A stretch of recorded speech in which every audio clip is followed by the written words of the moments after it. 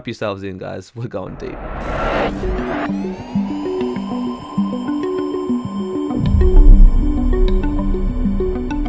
Man, people arguing over what God is since the dawn of time. Some people believe God is some bearded dude in the sky who judges you for masturbating, and others believe there is no God at all, which is just as insane in my opinion. So I'm not going to participate in tomfoolery by trying to explain the inner nature of God. It's like, how am I supposed to know? It's unknowable. The purpose of this video is to explore the divine paradox, how it applies to us, and sharing potential spiritual traps that many fall into, including myself. So even though I don't want to fall into the trap of trying to define something that's for the sake of this video, let's refer to God as the never-changing substantial reality that underlies everything we know in this universe. There are many names for it, God, Source, Absolute Infinity, the Creator, the Programmer, Infinite Love, Divine Intelligence. God, or what the Hermetists name the All, is by its very essence unknowable. However, there are certain truths connected with its characteristics manifested within existence as far as the human mind can grasp. Firstly, the All must be all that really is. There can be nothing existing outside the All or else the All will not be the All. Two, the All must be infinite, no beginning and no end. For there is nothing else to define, confine, bound, limit, restrict the All. 3. The all must be immutable, constant, never changing. It cannot be added to nor subtracted from, increased or diminished. It must have always been and must always remain. And 4. The all is law itself, from which all laws emerge. Nothing but the all can escape law, period, at least without negative consequence. So even though God and his intentions cannot be known by humankind, what can be known are the natural laws that construct this very existence resistance and these natural laws are universal and immutable, meaning that they have always been true and will always remain true whether your perceptions align with it or not. So do not mistake natural law for religious doctrine. If they're not true 100% of the time, then it's not a law. The Hermetists believe all theories, guesses, and speculations regarding the all is but the childish efforts of mortal minds trying to grasp the infinite. This pursuit has always failed and will always fail just from the very nature of the task. Those who pursue this rabbit hole end up traveling around and around in the labyrinth of thought, kind of like a hamster which frantically runs in its hamster wheel, traveling forever and yet reaching nowhere, just to be standing where he started. This is a common mistake when people try and seek the existence of God within existence itself. But how can the universe be created by the All if the All is infinite and cannot add nor subtract a portion of itself since there is nothing new outside the All? Well, similar to how you create a universe of your own in your mentality, so does the All create universes in its own mentality. As the first Hermetic axiom states, all is mind. When we create, we don't use outside materials nor do we take away a portion of ourselves, yet our spirit pervades our mental creation. Think of famous comic book creations such as the Marvel Universe created by Stan Lee. The Marvel Universe, along with everything in it, including all superheroes and villains, are mental creations of his mind. These characters may be imaginary from our perspective, but they symbolically reflect human nature. And to the characters in the story, the world is very real and kind of takes a life of its own, but still bounded by the laws of that particular existence. It's not like when you draw a cartoon character that suddenly jumps out of the page into the third dimension, right? Now imagine Spider-Man going around trying to find his creator within the Marvel Universe. It's safe to say that he will be chasing his tail until the end of time. Stan Lee as we know him doesn't exist in the Marvel Universe. Spider-Man may be able to find a glitch in the Matrix or an Easter egg or even go on some crazy psychedelic journey where he communicates with his version of Stan Lee, but no matter what, he cannot be Stan Lee. Each character has a divine piece of his essence which underlies all of reality within the Marvel Universe, but they are not him per se. Enough said. Anytime you need inspiration, I'll be right here. And this kind of points out the absurdity of people arrogantly claiming, I am God. Just imagine Spider Man announcing, I am Stan Lee, or Harry Potter saying, I am J.K. Rowling. It sounds kind of ridiculous, right? Especially because they're claiming to be something that's completely outside their capacity to understand. Now, of course, this analogy is inadequately incomplete since it represents the mental images of the finite mind, which our minds can grasp, while the universe is a creation of infinite mind, which is unknowable. However, it's all a matter of degree in which the same principles operate. In this case, it's the principle of correspondence, as above, so below, since our universe is fractal by nature. And remember that recognizing principles and trying to understand the creator of those principles are two completely different things. So while the all is above all natural laws, we are bounded by it.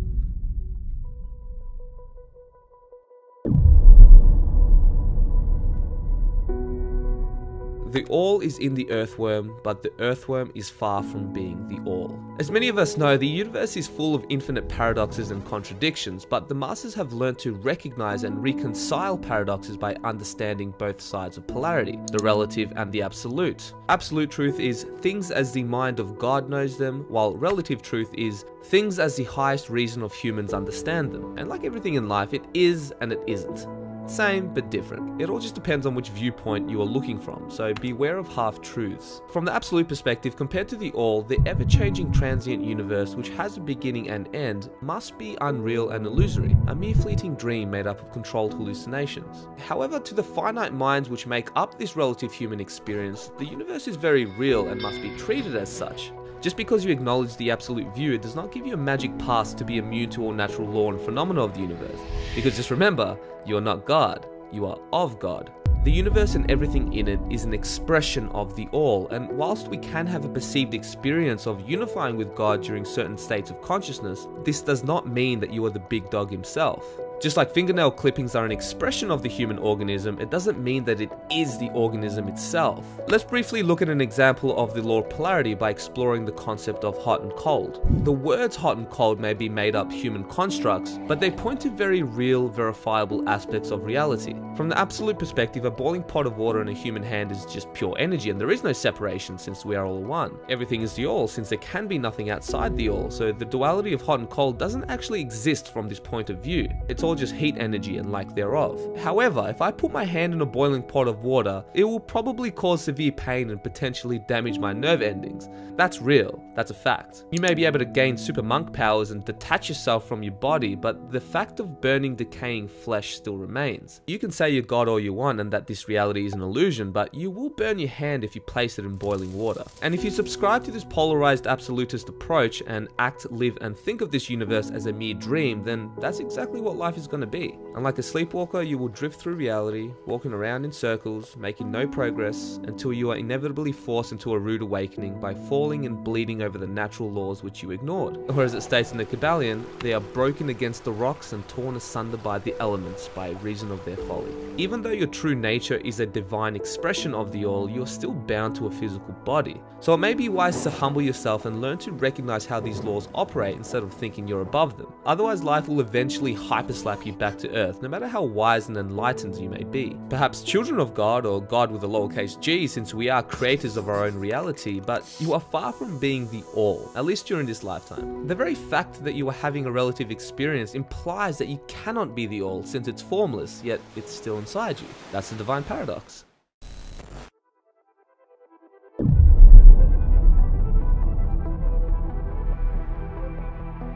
So why am I so caught up with semantics? Why does it matter if you're God, if you're of God? Aren't these all just dualistic concepts that are an invention of the human mind? It's an important distinction to make because if you confuse being of something with being the thing itself, it can be very easy to fall into egoic traps. And this is a common problem when the ego has mystical experiences and gets involved into spirituality. While certain experiences can feel extremely real and give you glimpses of truth, many times people completely misinterpret them. And it's not their fault, I've been guilty of this as well as many others. The very nature of the ego wants to understand and identify with everything, and it's especially sneaky with using spiritual practices for its own agenda, which is known as spiritual materialism. Let me, a mortal man with a limited mind, tell you what God, the unknowable, really means. Yeah, not exactly the most humble approach. In my opinion, this is the height of spiritual ego. I mean, what could be a more egocentric statement than claiming you are God? Anytime someone thinks they've figured it all out, they have committed a great error. Which is ironic because many of these New Age teachers criticize material scientists for clinging onto the relative while they're doing exactly the same thing with the absolute. This is spiritual fundamentalism and polarized thinking disguised as non duality. True non duality isn't about claiming godhood and dismissing individuality, like it's something that needs to be dissolved. This false notion of needing to transcend and overcome duality is based on a hypocritical premise which is rooted in self denial. Let's not forget that duality duality is essential for creation and is in fact very sacred.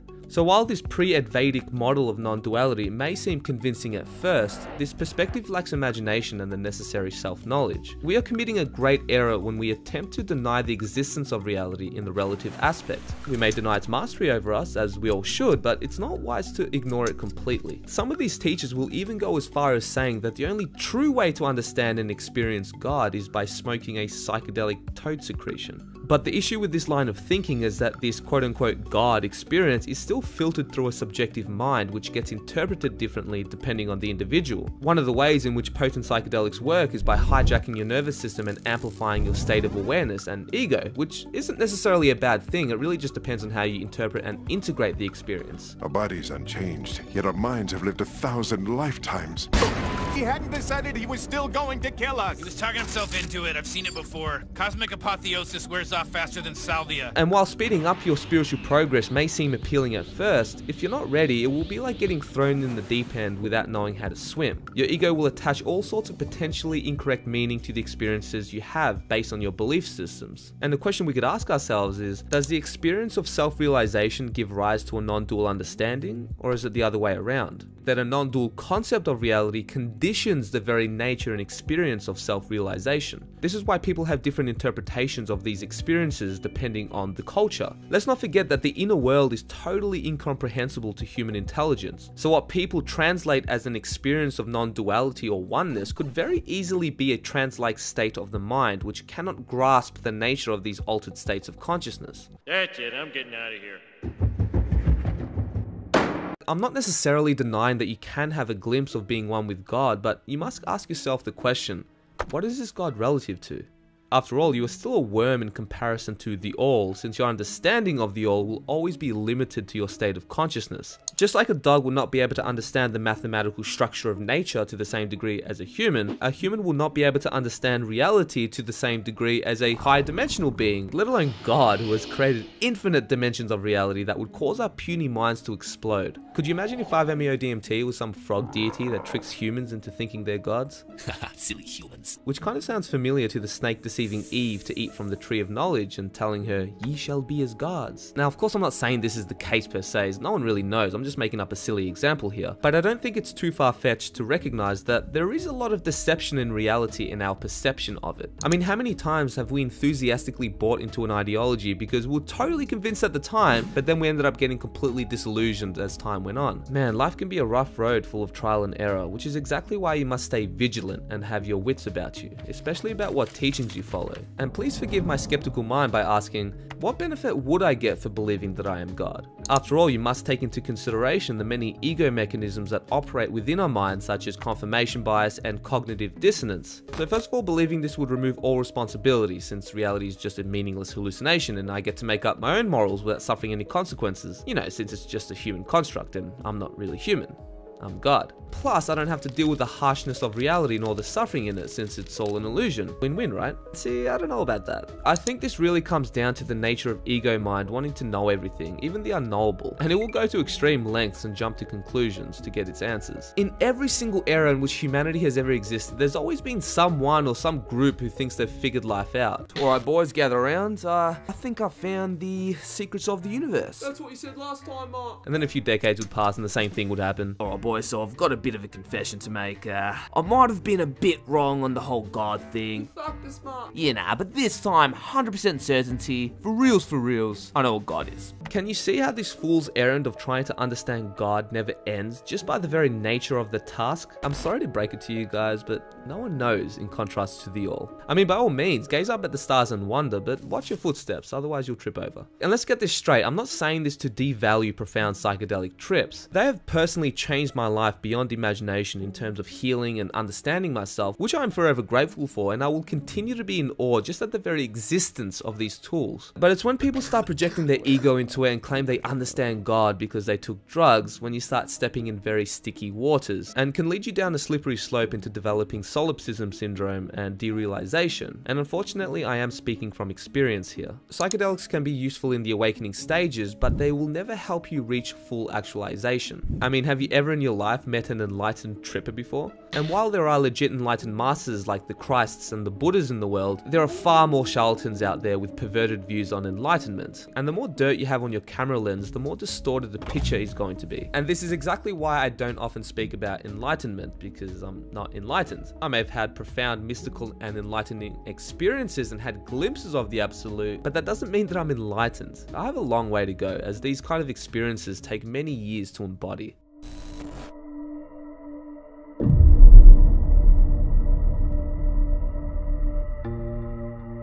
This is the divine reality in many ways. After all, it's only in the relative plane where things actually happen, literally. This is where the divine gift of consciousness expresses itself in infinite degrees and where everything comes together, which is a freaking miracle to witness. We are ineffably lucky to be here and even have this experience at all. It's the separateness of reality that's illusory, not life itself. And if everything's God, then shouldn't you treat this reality as a divine gift instead of denying it? Wouldn't that be denying God? Why do I get the feeling that if this reality was 100% blissful and free of suffering, that life being a meaningless illusion would never arise in a human's mind? It took a lot to break down these paradigms and acknowledge certain harsh truths of reality. So I don't mean to sound righteous or derogatory, as I can only speak from experience. Like, I get it. It can be a massive burden living in a transient reality and all the human suffering that comes along with it. And some people get dealt very unfortunate cards. There is an unfathomable amount of deep pain and suffering on this planet, which happens on a daily basis, and it's tragic. If you were to tap into just a glimpse of the collective suffering of humanity and how infinitely deep it goes, you will be horrified and probably scarred for life. It may not be real to you, but it has very real consequences for humanity, since we are all connected and basically one big organism. But don't get me wrong, this reality is a mind-blowing divine gift in every sense of the word when you tap into your true nature. But I wish my loved ones didn't have to die. I wish I wasn't in a decaying meat vehicle in this insanely messed up society. I wish people weren't committing suicide every day. I wish child trafficking wasn't real. And you may say I'm just projecting my judgment into it because I don't know what God's plans are or why there is so much suffering in the world, and you would be right. It's not my place. But that's the thing, I'm human. How can you blame me for being upset about these things? And I think this is an important key that's missing from many of these quote unquote spiritual teachings, and that is sincerity and genuine compassion for our brothers and sisters who are suffering. But it's all real, it's all happening. And whether you like it or not, your actions does have a massive effect on humanity. And while we should all ultimately aim for unifying with God and not dwelling in our human problems too much, we must also acknowledge and honor the stage we're at. I highly doubt we're going to get from war, famine, and slavery, which is where we're still at today, to instant enlightenment and godhood and slip into a reality where darkness doesn't exist and it's all light and bliss. I think that may be a bit idealistic. Who knows, maybe one day in the future when we evolve into higher dimensional beings where duality doesn't exist and we become closer to the all, we can get away with not doing anything but just meditating and dancing in the Garden of Eden. But right now, we are in a third dimensional earth plane where shit is going down and a lot of real human beings are suffering here. And when you preach new age ideology and promote inaction and pseudo spirituality, you are ultimately contributing to more ignorance, which leads to more suffering. I don't think our job in the universe is to deny its existence, but to live and do the best that we can under the circumstances that rises from each day. This whole cosmic school which we call Earth is all about growing, learning and expanding your awareness and using this to serve this giant organism we call humanity. If there was no purpose to all of this, then we wouldn't be here with the innate drive to grow and expand. Meaning is scattered everywhere in the universe. It's up to you whether or not you want to recognize it, to see God within all, and even more importantly, to serve God and spread light and knowledge onto this dark world that has forgotten its divinity. Selflessness is not about becoming enlightened so you can ignore the sufferings of the world. Selflessness is about having perspective, and the only way to have true perspective is through love. Love is unification and God is the ultimate unifier. The whole purpose of spiritual development is really about the recognition, realization, and manifestation of the spirit within us, our true nature. This is about returning home to the kingdom of heaven within. Back to God.